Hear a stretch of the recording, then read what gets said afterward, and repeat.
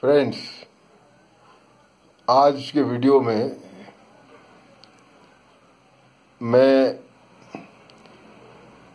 Indian जो cinema था, उसमें एक दौर था, साठ के आसपास, जिस जिसको कहा गया चॉकलेटी हीरोज का दौर था। और वो जमाना ऐसा था जिसमें हीरो के नए नक्श उनका फ़िज़िकल बिल्डअप सभी कुछ बहुत अच्छा होना चाहिए तभी वो हीरो बन सकता था।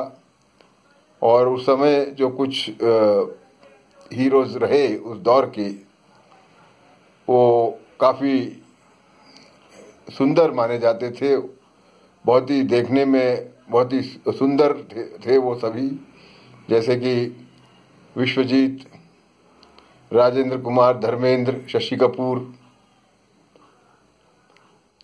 ये सभी मनोज कुमार, ये सभी चॉकलेटी हीरोज का दौर था। और एक और बात जो देखी जाती थी हीरो जो है, उनको, उनके ऊपर जो गाने फिल्माए जाते थे, उसमें एक जो विशेष बात जो देखी गई तो वो ये विशेष बात थी कि गिटार का प्रचलन हुआ और हीरो को गिटार के साथ दिखाया गया।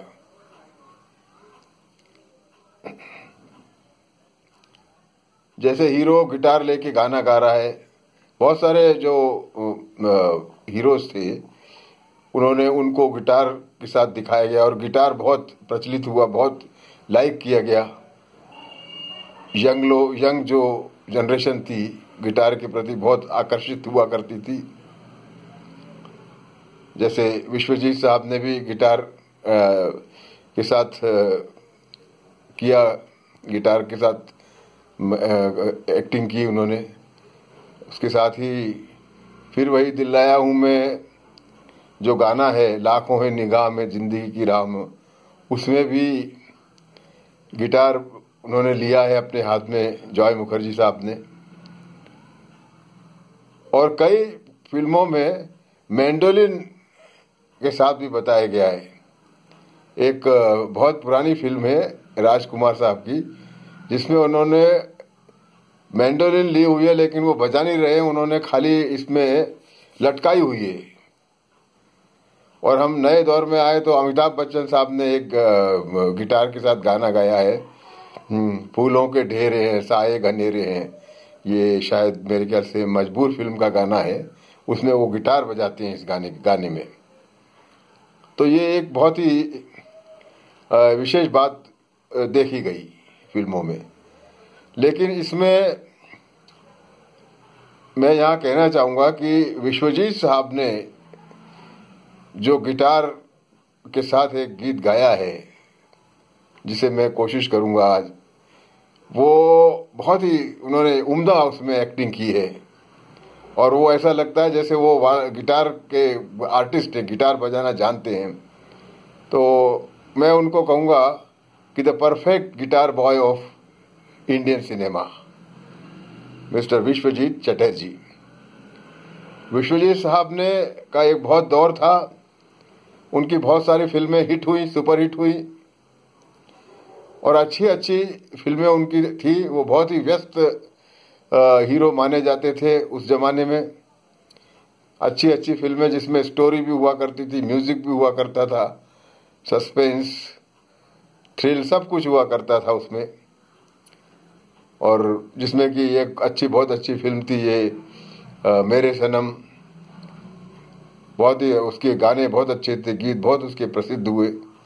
ऐसे अनेक बहुत सारी फ़िल्में उन्होंने अच्छी अच्छी उपासना मैं सुंदर हूँ। नाइट इन लंदन बहुत सारी फ़िल्में जो जो उनकी थी उसमें गाने के कहानी के साथ साथ गाने भी बहुत अच्छे थे।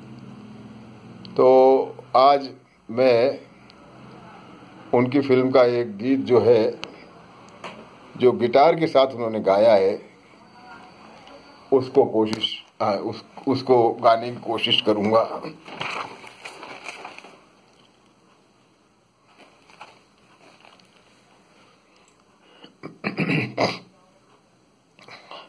लाखों है यहाँ दिल वाले और प्यार नहीं मिलता।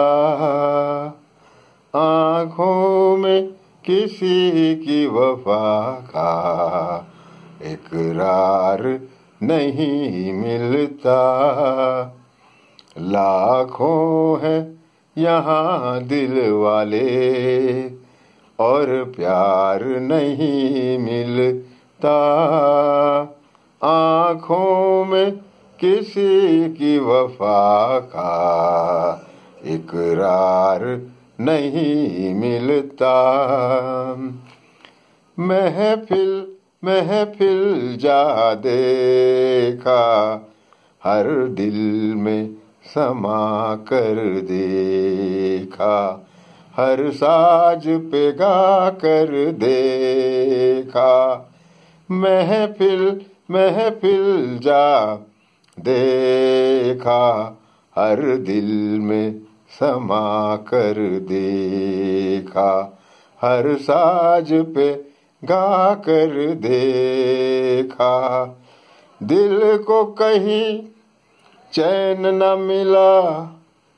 अरे दिल को कहीं चैन न मिला।